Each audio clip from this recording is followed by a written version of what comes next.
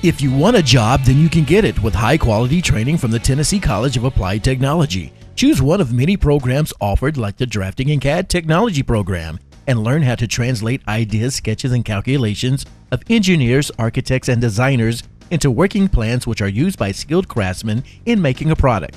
Tomorrow's jobs begin today at the Tennessee College of Applied Technology in Morristown, training tomorrow's workforce. For more information, call 423 586 5771.